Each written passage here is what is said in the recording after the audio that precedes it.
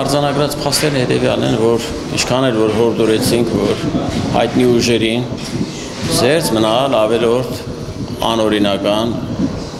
հայի տեսակին ոչ հարիր կեցվածքին եւ չգնալ Պրոշանում ընտրություններին ավանդական ձևերով թողնել գյուղը որոշի, որտեվ սա շարքային ընտրություն չէր, այստեղ սպանություն էր եղել։ Սպանվել էր գյուղապետը, ոչ շարքային գյուղապետը, ազատամարտիկ, լավ մարդ։ Ստացեց, որ մեր հորդորները տեղ չհասան կամ հասան եւ չմբռնեցին կամ բռնեցին իրենց տեսակով, իրանց ձևով եւ շարունակեցին ստաժի ընդհատում չտալով նույն մեթոդներով այստեղ կատարել իրենց սև գործը։ Եվ այս անգամ բացի այն մարզային կառույցներից, որոնց տնորինում տիրապետում էր մարզպետը իր բոլոր լծակներով, նաեւ դրան միացավ պաշտպանության նախարարությունը, որի համար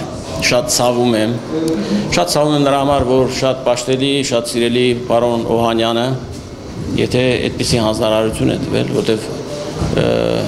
իրենց շտաբից, իրենց որ ասում եմ, հասկանալի է ինչի մասն է խոսքը, երեք Բարսաշյան սպաներ, փոխգնդապետ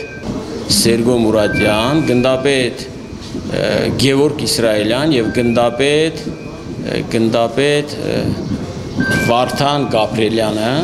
հանդես են եկել շտաբում զորական հակոստով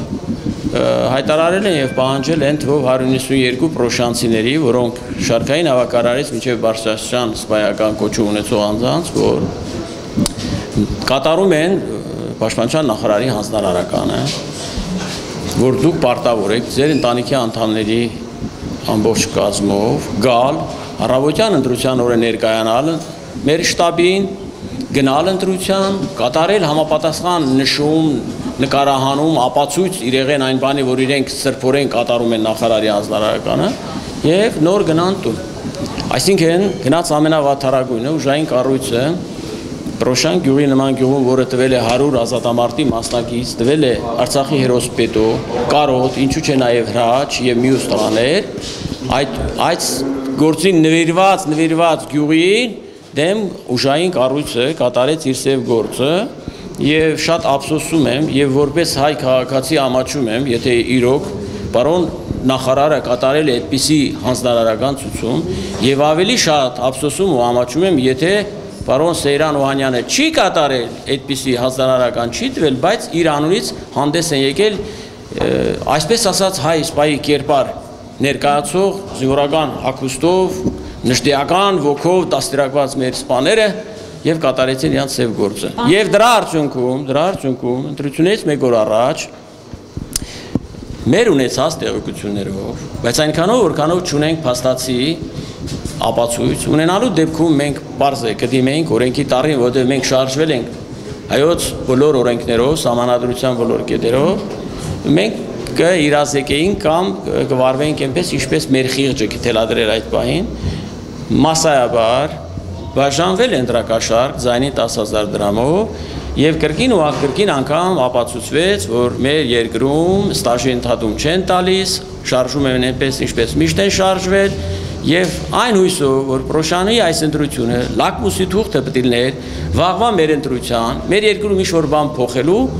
չնայած հույսը չեն կորցրել, որտեվ ես Պրոշանցի եմ, Պրոշանցին միշտ ազատ մտածող մարդ է, Պրոշանցին ըմբոստ բնավորությամբ մարդ է։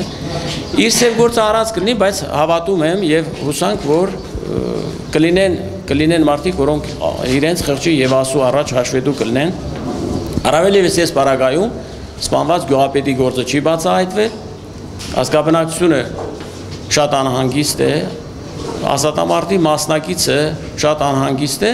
բայց ստացվում է, որ դա ոչ մեկը չի կարևորում եւ ոչ մեկին այնքան էլ պետք չի պետական մեքենայի եւ գելոտինի սկզբունքով շարժված իշխանիկների, մարսպետի եւ այն օլիգարխի կառույցների, որոնք մտածում են, որ Պրոշյանը իրենց հոր բոստանն է, ինչ ուզենան կանեն, մենք հույսը չենք կտրել, մենք հավատում ենք մեր Պրոշյանցուն։ Այո, եթե թույլ տային արդար ընտրություն լիներ, ես իմ խոսքի տերն եմ, ես կշնորհավորեի, բայց արդեն օրը առավոտից է երևում, որ ճիշտ է նայում ենք տեղամասերում գյուղում ազատ է հանգիստ են, իհարկե այդտեղ պետք է շեշտենք անպայման ոստիկանության դերը նաև, դերը կարևոր է, բայց իրանց ծև գործը անելուց հետո այլ բան չկա անելու, ամեն ինչ թվայնացված է։ Արդար ազատ եւ թվայնացված ընտրություն։